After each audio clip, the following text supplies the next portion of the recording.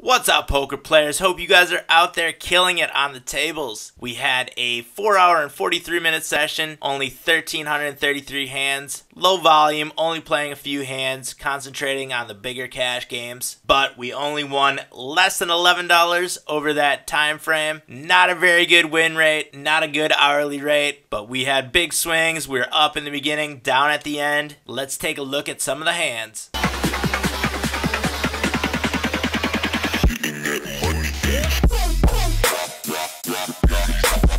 First hand we're looking at is Ace 3 of Hearts playing from the small blind at the 100 NL table. Folds to under the gun plus 2, who opens for 3x. Fuck variance, nice name, makes a call of the open. Both players are pretty recreational, only 37 on acronym with the AK. Again, two two good uh, screen names in this hand, I like them. And only 62 hands on fuck variance. I make the call being out of position, but against two recreational players. And we wind up flopping a nut flush draw, 10 high, very draw heavy. We check, acronym puts in a continuation bet, pretty small. Fuck variance gets out of the way, and I'm going to try to pick up this pot right here. But if we do get called, we always have the nut flush draw, as well as the overcard, and also backdoor straight draws. Acronym makes a call. The eight of spades does not help out our hand. I just check since our opponent called our flop raise, and the eight really isn't a scare card, and not many hands are probably going to be folding with an eight on the turn that made a call of the flop raise. And our opponent bets $15. We're getting 3.53 to 1 odds making the call here. And there's a good chance that we're going to be making more than that when we do hit our flush or an ace that improves us to the lead by the river. So I do make the call with the implied odds. And a king of spades comes on the river. Not a very good hand for us. Our opponent has a 0% fold to river bet and very high bet percentages on the river. And has showed down pretty well so far. So I check and am pretty much just giving up on this hand. Our opponent bets $20 and I just make the fold here. What do you guys think about that turn call? Is that something you guys would have done? Do you think we had enough implied odds to be making that call? Let me know down in the comment section below. Now we're taking a look at pocket aces at the 200 NL. We are playing from the hijack seat. Under the gun opens to 2x. Under the gun plus 1 makes a call. Einstein 727, you guys remember him from the last video? Mr. Never Fold. So we're putting in a big bet here, make it 18 to see a flop. We get a call from under the gun, and Einstein also comes along. There's already $57 in the pot, and look at that flop. That's really familiar from the last time we played Einstein. Both players check. I put in a small bet, $26. Einstein hates to fold the cards, and I think we can probably get pretty much any pair to make a call here. But both players do fold, and we take down this pot. I think Einstein might have learned his lesson from last time. And now we have ace king suited playing from the cutoff at the 200 again. Full draw on us, and we open to $6, 3x. We get 3 bet by the small blind. Pretty tight 3 bet percentage. Pretty good numbers, but might be recreational. We only have 222 hands on this player. I put in a 4 bet, make it $40 to go, and our opponent makes a call. Flop is 2 kings and a 4. With this player's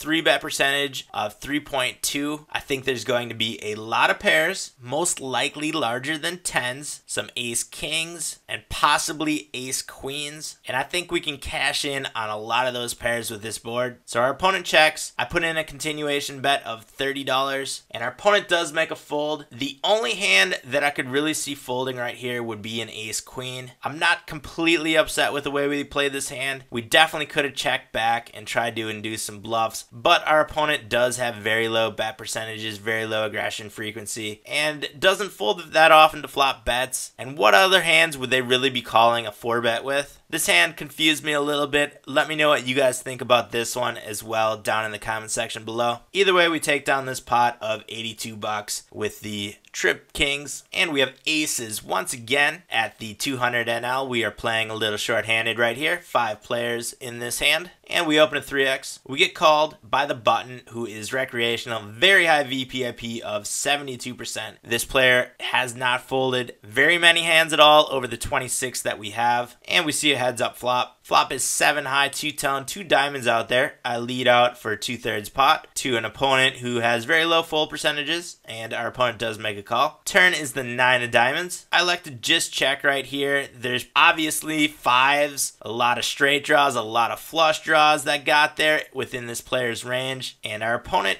puts in a bet of $24. And against this type of player, I'm not going to be folding aces that often, and I do make the call. The river is the eight of spades. Even more of the draws got there now, and with that high VPIP again, you really can't put many hands out of this player's range. There's going to be sixes in there. There's going to be 10 jacks. There's going to be flushes. There's really nothing you can put out of this player's range. So I am just going to be checking and calling down, but our opponent does check, doesn't put in a river bluff, and we take down this pot of $79. And we have pocket queens at the 100 NL. Hijack seat opens for 2.1x. The hijack is a very regular player, regular short stacker, plays a solid game though. And against a short stacker, I'm going to be playing queens like the nuts. So I put in a 3 bet preflop, and our opponent jams the rest of their stack in. Pretty standard from short stackers. I get it in, and it is kings against queens, a classic cooler, and our opponent takes us on this one. But queens is going to be ahead of most of this player's 4-bet jamming range with the short stack. And now we have kings at the 100 NL table. We are playing from the big blind. Under the gun opens to 2.5x. Fuck Variance puts in a 3 bet to $9. And the button, who is a recreational player,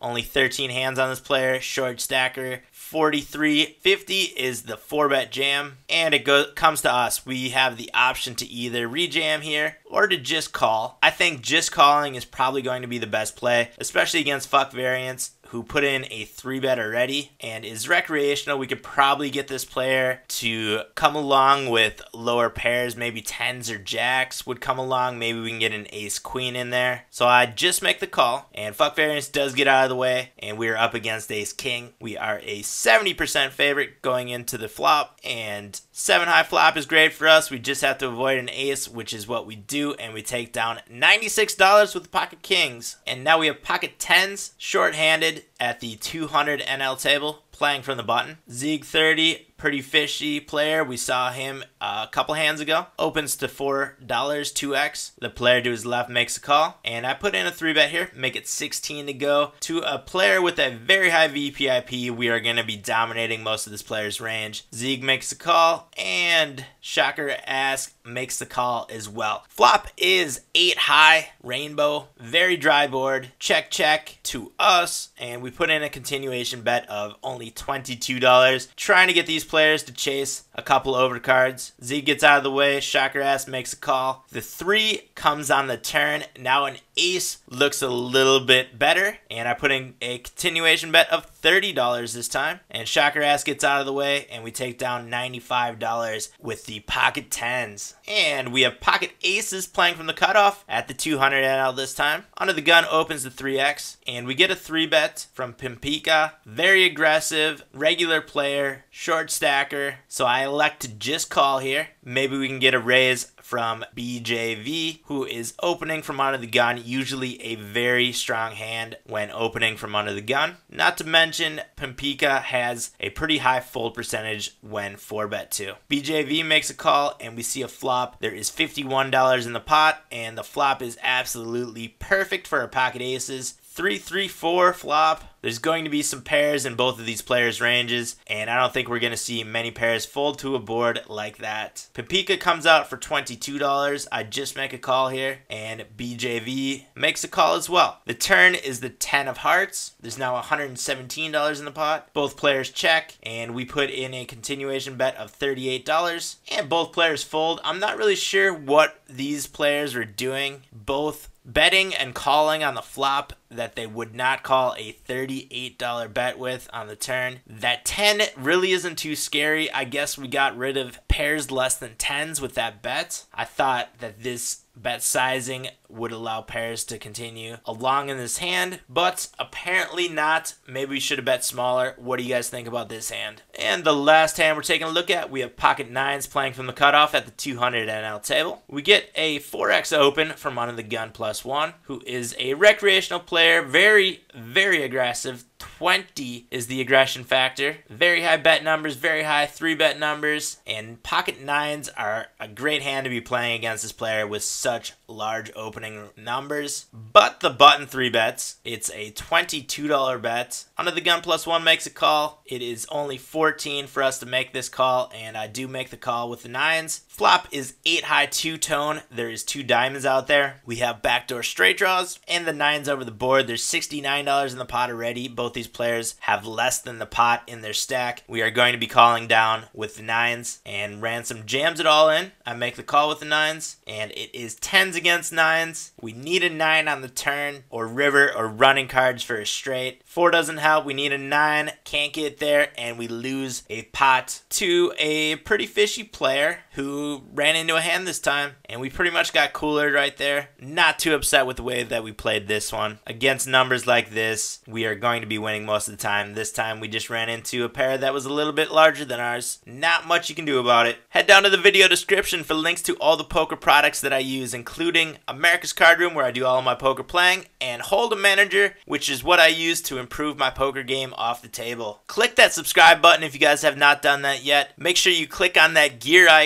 on the channel page as well to turn on your notifications. That way when a new video comes out or I am live streaming, you guys, you will be notified. Give this video a thumbs up if you enjoyed it, and looking forward to those comments down below as well. Back soon with a new video, but until then, I'll see you guys out on the virtual felt.